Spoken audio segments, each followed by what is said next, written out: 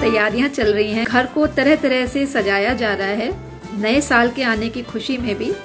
तो please let me know how many of you are really going nature friendly this Christmas कितने लोग हैं जिन्होंने प्लास्टिक और जो आर्टिफिशियल डेकोरेशंस होते हैं, उनको गुड बाय कर दिया है?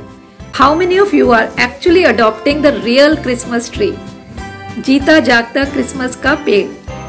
तो आप लोग अगर डेकोरेशन प्लान कर रहे हैं so do go for real Christmas tree and decorated with lot of beautiful handmade beautiful crochet Santa Clauses we have made this little lovely handmade decoration items because we believe in going zero waste plastic free and nature friendly and also promoting the very beautiful art crochet की कला crochet की कला ये देखिए, हमारे छोटे से centre already हमारे पास है।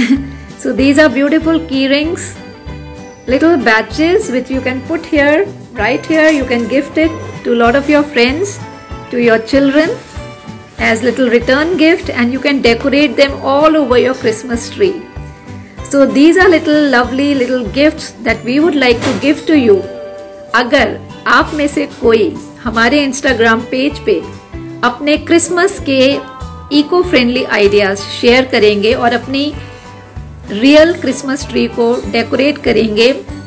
नेचर फ्रेंडली इको फ्रेंडली चीज़ों से जो आपके खुद की हाथ की बनाई हो वेस्ट चीज़ों से बनाई हो चाहे वो पेपर का सेंटा हो सकता है पेपर की बेल्स हो सकती हैं।